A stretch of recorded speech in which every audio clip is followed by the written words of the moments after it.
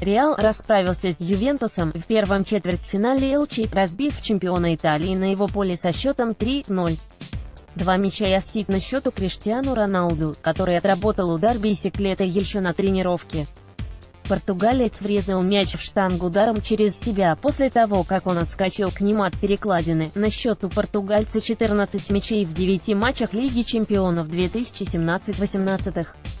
После игры Криш назвал гол в ворота Юви одним из лучших в карьере.